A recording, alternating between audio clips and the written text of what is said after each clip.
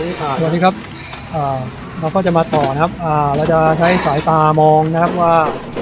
อุปกรณ์ตัวไหนมีการก็ก็พบว่าตัวนี้นะครับน้ำตาลดำน้ำตาลนะครับหนึ่งร้อยโอห์มนะครับ ผิดพลาดทองนะครับอันนี้ทองก็ผิดพลาดห้าเปอร์เซ็นครับสังเกตว่าจะไหม้เลยนะครับสังเกตว่ามันจะไหม้นะครับเราก็ต้องทำการเปลี่ยนนะครับเปลี่ยน R ตัวนี้หนึ่งตัวนะครับ เป็น R ร้อยโอห์มสามวัตต์นะครับ ตัวนี้จะเป็นใหญ่กว่าสองวัตต์นะครับนิดนึงครับใหญ่กว่าท้องตลาดที่ขายขายกันนะครับ ส่วนใหญ่เขาจะขายขายกันสองวัตต์นะครับ แต่ตัวนี้เป็นสามวัตต์อ่าเราก็จะทำการเอาออกมา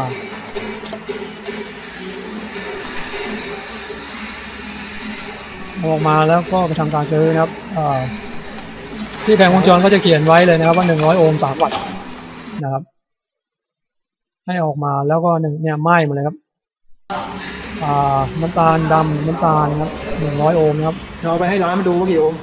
น้ำตาลดำน้ำตาลนะครับอันนี้ทองครับพิพาห้าเปอร์เซ็นต์ครับร้อยโอห์มพิพาห้าเปอร์เซ็นต์หนึ่งศูนย์แตกเลยครับ ตัวนะฮะนั้นเราเราเราทำการวัดไดโอดครับอ่าว่ามีไดโอดช็อตหรือไม่นั่นเพไดราะโอดนะอ่าอุปกรณ์ที่เปราะบางคือพวกไดโอดครับอ่าได้ 0.5 โวลต์ตั้งไปย่านไดโอดนะครับ ได้0.5โวลต์ตกโอเคครับ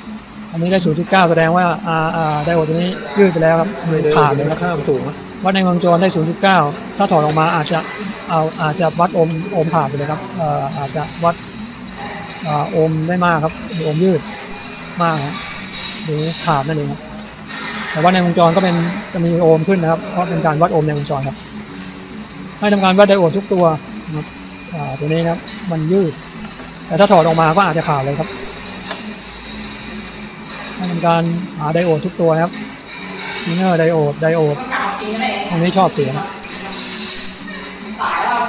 มันก็ไม่มีอะไรช็อตนะครับ อ่า มียืด เราก็จะต้องเปลี่ยน อ่าอาร้อยโอห์ม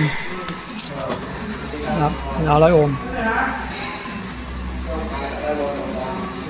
อ่าอาร้อยโอห์มนะครับ เขียนอยู่ที่แผงบอกนะครับ อ่าร้อยอาตำแหน่ง RP สี่ครับร้อยโอห์มสามวัตต์ แต่ผมจะเปลี่ยนแค่ร้อยโอห์มสองวัตต์นะครับ แล้วก็จะทำการวัดอุณหภูมิว่ามันจะทนได้ไหมนะครับ ถ้าใช้สองวัตต์ส่วนไดโอดนะครับ